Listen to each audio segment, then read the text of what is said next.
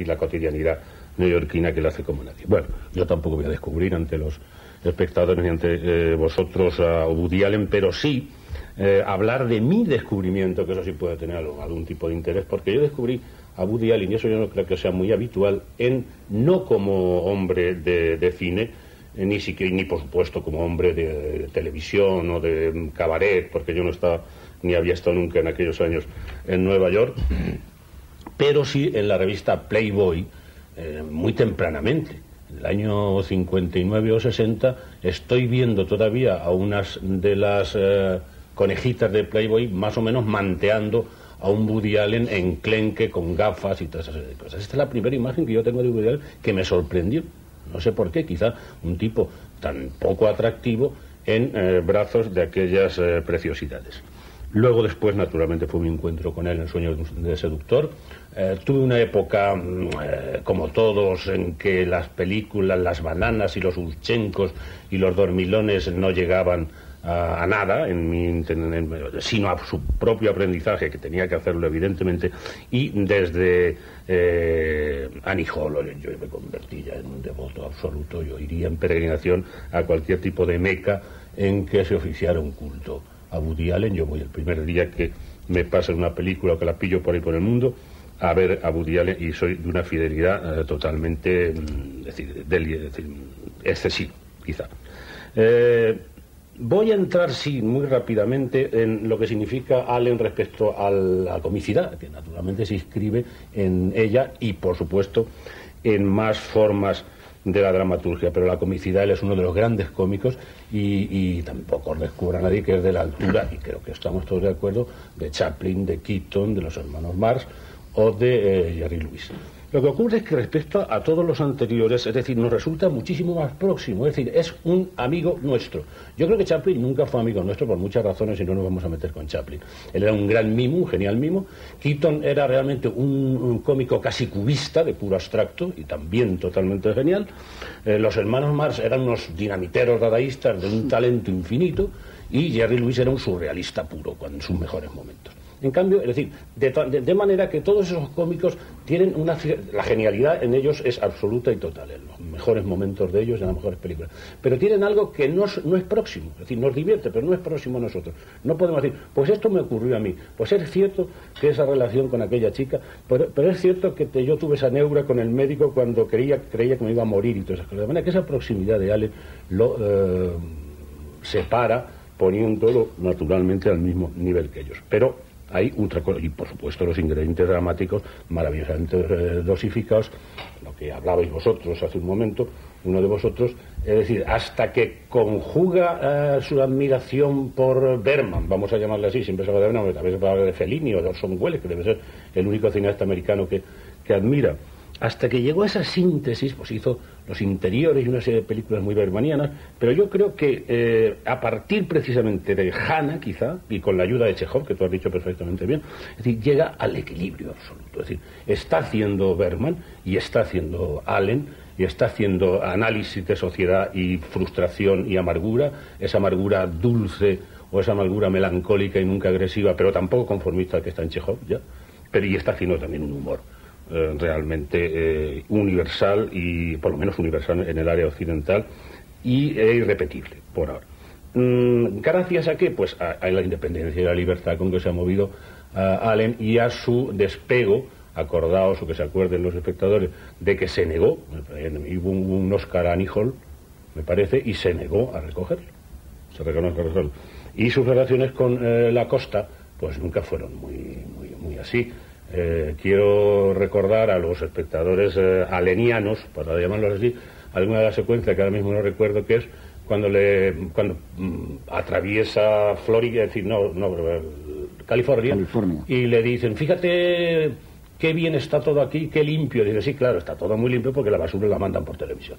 Dice, en una de esas salidas que, te puede, que, estallamos todos en una carcajada. Y sospecho que también pensaba lo mismo respecto no solamente a la televisión, sino al cine norteamericano, con las excepciones que son de rigor.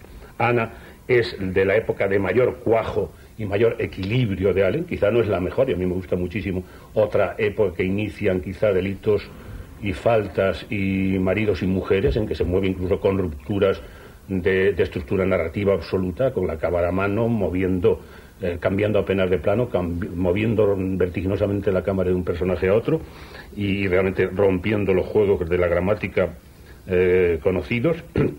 Pero este juego de parejas, unido a este análisis de sentimiento, es realmente único, como habéis dicho, es una síntesis absolutamente genial, con un virtuosismo que yo eh, diría de billarista de primera magnitud. Muy bien, muchas gracias. es verdad que hay un punto de inflexión en su carrera, yo creo. Miguel María, buenas noches. ¿Qué hay? Buenas noches. Aunque hay muchas películas. Tú también eres de Buddy, ¿verdad? No, ¿No? Yo soy muy partidario de, de, Hannah y sus hermanas, que me parece su mejor película, pero no soy nada un alenófilo ah, no. extremo. No, no. ¿Te gusta también Celebrity, no? Ah, me gusta Celebrity y tampoco es de las que más. Me gustan mucho varias, la mayoría me gustan. Hay varias que detesto también pero no soy un partidario acérrimo. O sea, contrariamente a vosotros, soy eh, discrepante. No, no, me hace mucha gracia en sí mismo la figura de Woody Allen. Eh, no me parece fundamentalmente un autor cómico, por lo menos la parte de él que a mí me interesa más es la de autor dramático y no cómico precisamente. Cuando están muy centradas en sí mismo, y esos son los motivos por los que esta me gusta mucho más que casi todas las anteriores, con la excepción de, Manhattan y de, y de, Annie Hall, eh, me irrita incluso profundamente porque tiene muchas de las cosas más previsibles y más tópicas en un americano oculto y, tiene a veces un tipo de, bromas, eh, en el fondo despectivas hacia los demás que no me hacen mucha gracia eh, sin embargo, creo que es un director que ha ido aprendiendo con el tiempo. Evidentemente hay, un momento, digamos, de, equilibrio a partir de Annie Hall, en la que ya domina el medio expresivo, que antes las películas suyas me parecen a menudo buenos guiones mal realizados o endeblemente realizados. Eh, tiene efectivamente un virtuosismo eh, que es magnífico, que una muestra clarísima es, es Annie Hall y la lo que ha comentado antes eh, Juan Miguel sobre la escena inicial, pues es uno de los prodigios que hace, pero es un prodigio que no es solo aplicable a eso, sino que es a toda la manera de narrar, que es sumamente original. Me hace mucha menos gracia como director cuando hace alardes de virtuosismo, cosa en la que incurre de vez en cuando. Me hace también menos gracia cuando se pone demasiado devoto de Fellini o de, o de Berman y los imita excesivamente. No me hace tampoco ninguna gracia cuando imita muy mal, para mi gusto, los movimientos de cámara de Casabits en algunas de las películas de la etapa final. Y sin embargo, pues cuando no se centra únicamente en sí mismo, cuando se mira menos el ombligo y se abre más hacia el entorno, es decir, casi cuando él no es protagonista de las películas, sino es uno más de un grupo de protagonistas o es un secundario, eh, desconfío un poco cuando desaparece él mismo de la escena porque tiende excesivamente a atribuirle sus características personales a otros de los personajes. Eh, gustándome Celebrity, hubiera preferido que en lugar de que de Bragan eh, hubiera salido él mismo, ¿no? O sea, lo he hecho en falta.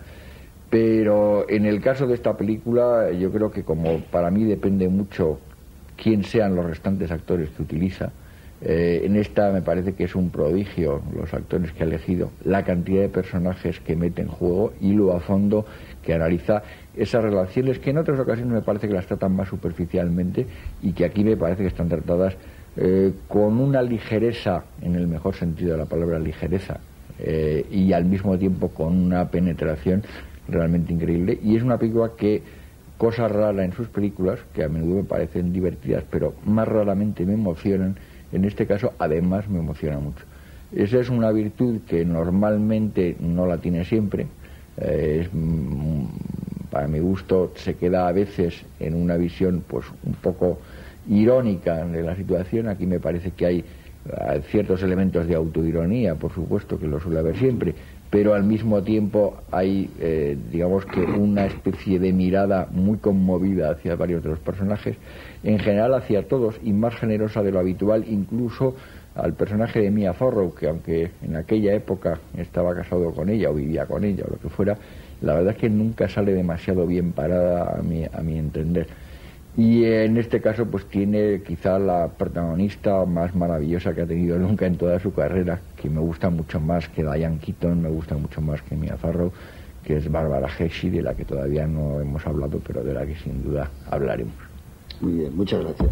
Pues yo creo que vamos a ver una película realmente excepcional. Vamos a tener un coloquio donde vamos a hablar de muchísimas cosas, porque Woody Allen tiene esa especie de fuerza camaleónica, ya hizo esa película suya estupenda, Félix, donde puede moverse perfectamente desde mm, Neil Simon a Chekhov y puede realmente dejar su huella, y sobre todo porque en esta película, como algunas otras, hay mm, una declaración de cinefilia extraordinaria. Ahí me recuerda un poco a Preston Sturges en los viajes de Sullivan cuando él en un momento determinado aquí se mete en el cine y ve una película de los hermanos más y evidentemente esa especie de apuesta también por la fuerza del cine como otra vida de repuesto yo creo que muy pocas veces había contado. En cualquier caso vamos a ver a Hannah y sus hermanas, a las tres hermanas, están las tres maravillosas, solo me parece que una de ellas fue la que gana el Oscar, Diane Wist, que la hubiera merecido también Mia Farro y lo hubiera merecido también Bárbara Hershey.